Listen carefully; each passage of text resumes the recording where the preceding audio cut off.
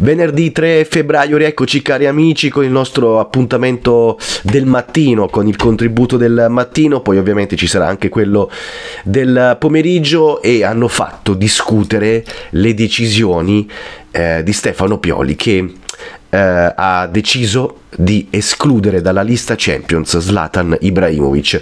È un po' una decisione particolare perché in effetti ha, ha, del clamoroso se ci pensiamo. Ibra aveva come obiettivo quello di tornare a giocare e poi farlo in Champions League. Evidentemente eh, parlando col giocatore e facendo tra l'altro una ehm, riunione tecnica eh, con eh, l'area sportiva ehm, l'allenatore e il giocatore hanno alla fine tutte le parti in causa ha preso questa decisione di escludere Ibrahimovic dalla lista Champions. Un'esclusione che comunque fa rumore, un'esclusione comunque abbastanza clamorosa, proprio per il fatto che lui si è operato a maggio scorso per ritornare in Champions League. Poi mi verrebbe anche da dire, e metti caso che il Milan miracolosamente dovesse passare il turno di Champions, perché il calcio è imprevedibile, eh, superare quindi andate e ritorno il Tottenham e accedere ai quarti e fra due mesi Ibra avrebbe tutt'altra condizione fisica si mangerebbe sicuramente le mani per non esserci, anche perché Ibra non potrà essere reinserito nella lista Champions. L'unico cambiamento che si può fare è quello del portiere. Infatti questa è un'altra cosa che bisogna commentare. Nella lista Champions che ora andiamo a leggere è stato inserito Tatarusanu, ma fino a 24 ore prima dal match si può cambiare solamente per il portiere. Ora, se Megnan dovesse farcela nel match di andata, quindi in Milan-Tottenham del 14 di febbraio, verrà sostituito Tatarusanu con Megnan. Se invece non dovesse farcela, all'andata giocherebbe Tatarusanu e poi il cambiamento verrebbe eh, fa- fatto nel match di ritorno a marzo quando il Milan andrà a giocare in casa del Tottenham. Eh, a questo punto andiamo anche ad elencare la, diciamo, la lista UEFA presentata dal Milan ieri a mezzanotte più o meno. Abbiamo dato l'anteprima sul sito Milan News. Eh, Tatarusano, Calabria, Benasser, Ballo Touré, Tonali, Giroud, Brian Diaz, Rebic, Leao, Hernandez, Calulu, Tomori, Kier, Florenzi, stato inserito, Orighi, Malik Ciao, Messias, Pobega, Krunic, Gabbia, Salemekers, Mirante e De Ketelare. Quindi fuori Zlatan Ibrahimovic e l'unico cambio rispetto alla fase a gironi che possiamo notare in questa nuova lista è la sostituzione di Malik Ciao con Serginio Dest. Fuori il giocatore americano in prestito dal, uh, dal Barcellona, dentro Malik Ciao che è di proprietà del Milan ma comunque è stato utilizzato pochissimo fino ad ora. Ovviamente la scelta più forte, la scelta più importante, quella anche clamorosa è l'esclusione di Zlatan Ibrahimovic perché comunque fino ad ora il rientro di Zlatan stava procedendo bene, nel senso che stava rispettando la tabella di marcia. Evidentemente, dopo un colloquio con il giocatore, con Maldini, Massara e Stefano Pioli, le parti in causa hanno deciso per la non convocazione, per il, non inserimento di Ibra in questa lista. Fa un po' specie fa un po' eh, effetto, mm, tutto portava a pensare all'inserimento di Ibra nella lista Champions, invece non è stato così. Eh, sta emergendo anche l'ipotesi di una scelta tecnica, ma comunque se si tratta di scelta tecnica è una scelta condizionata dalla, eh, dall'aspetto atletico e fisico se Ibra fosse stato al 100% non avrebbe avuto alcun problema dal punto di vista fisico-atletico, sarebbe stato poi eh, inserito. Quindi comunque, seppure si parla di scelta tecnica, è una scelta tecnica condizionata dalla, dall'aspetto eh, fisico-atletico. D'altronde Ibra non gioca da maggio, eh, l'ultima partita è giocata proprio in casa del Sassuolo quando è entrato nel secondo tempo della vittoria per 3-0 contro il Sassuolo, da lì l'operazione e poi non ha più giocato nemmeno un minuto. Parliamo comunque di un giocatore di ormai 41 anni con un'operazione importante al legamento crociato e va gestito.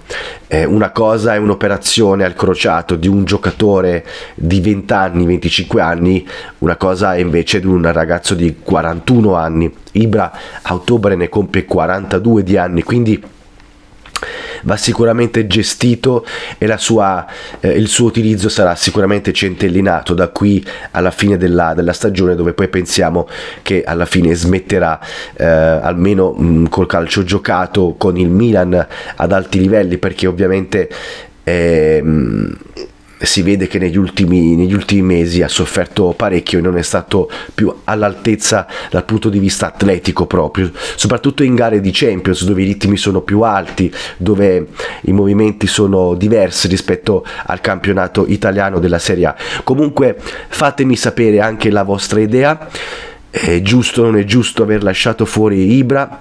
Ve l'aspettavate?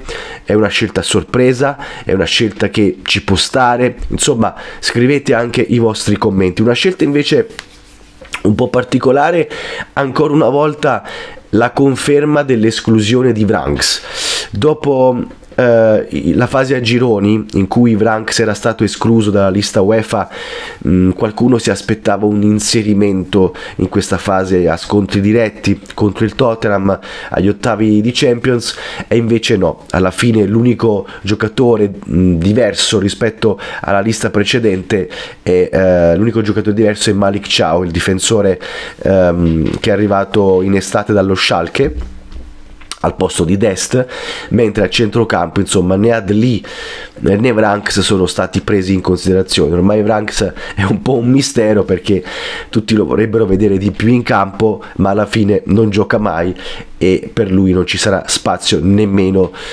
in Champions League. Commentata questa situazione un po' particolare della lista UEFA, stamattina eh, sulla Repubblica, il giornale La Repubblica, eh, ha parlato un esponente della cordata di Investcorp che era pronta ad acquistare il Milan, vi ricordate la cordata del Bahrain, eh, era pronta ad, ad, ad, acquistare il Milan eh, un anno fa per circa 1.1 miliardi di euro. Eh, si era anche arrivati ad una trattativa esclusiva tra le parti poi ad un certo punto qualcosa non è andato per il verso giusto ed è saltata la trattativa. Mi ricordo che c'era una due diligence in atto, mi ricordo che c'era una trattativa esclusiva di un mese e alla fine di questa trattativa esclusiva eh, Elliot ha preferito poi aprire anche le trattative con altri individui, altri fondi e alla fine hanno scelto di legarsi al fondo Redbird Capital di... Um, di Jerry Cardinale, ma Investcorp, secondo quello che dice un portavoce al quotidiano La Repubblica, avrebbe investito dai 300 ai 400 milioni di euro sul mercato notizia forte questa, soprattutto ora eh, che i tifosi sono giustamente eh, non contenti del, del, delle spese che sono state fatte eh, sul mercato in estate e in inverno, addirittura in inverno eh, il Milan non ha speso nulla, sentire queste cifre eh, sono cifre importanti. Sentite, allora il portavoce ha svelato, non posso entrare nei dettagli, ma posso confermare che la nostra cordata si era impegnata sia ad acquistare tutte le quote di maggioranza del Milan, sia a garantire il successivo investimento sul mercato di 300-400 milioni per riportare subito la squadra al livello più alto d'Europa, come la sua storia merita. Era tutto equity. Se Elliott avesse voluto, gli avremmo lasciato le quote di minoranza, quindi sono comunque delle dichiarazioni forti. Ora bisogna capire, ragazzi, dove è la verità, perché comunque è facile fare delle dichiarazioni del genere ad un anno dalla trattativa e si può anche dire qualcosa di non vero. Io spero che non sia così, perché se fosse vero, Elliott avrebbe preferito il fondo Redbird Capital eh, finanziando anche la metà eh, di quel miliardo e 200 milioni perché 600 milioni sono poi forniti da Elliott a Red Bull Capital eh, la situazione sarebbe comunque eh, molto molto particolare. Comunque questo portavoce della cordata Investcorp afferma che erano pronti 300-400 milioni e insomma sono parole, sono parole che fanno assolutamente riflettere Chiudiamo il video con le ultime dal centro sportivo di Milanello, la squadra si sta allenando questa mattina, il mister ieri ha provato a cambiare qualcosa, ha provato un 3-5-2 modulo a specchio rispetto a quello dell'Inter, l'Inter di Inzaghi gioca sempre col 3-5-2, un 3-5-2 che poi si può leggere anche con un 5-3-2 perché i due esterni si abbassano e vanno ad aiutare la difesa, una difesa che in questo momento ha bisogno di maggiore protezione vedremo un Milan più accorto, un Milan più coperto, più abbottonato. Il primo obiettivo è non subire gol, perché quando il Milan subisce gol poi la squadra si sgretola, si scioglie. L'obiettivo è dare fiducia alla squadra, magari inserendo qualche giocatore in più tra centrocampo e difesa e a provare insomma a resistere alle offensive dell'Inter. Quindi l'obiettivo è rispetto al passato e cominciare a non subire gol. Poi il resto viene da sé. Vediamo insomma nelle prossime ore se ci saranno novità dal centro sportivo di Milanello noi ci sentiamo nel pomeriggio e vi ricordo che domani è giorno di conferenza stampa parlerà in uh, conferenza a Milanello uh, Stefano Pioli alla vigilia di Inter Milan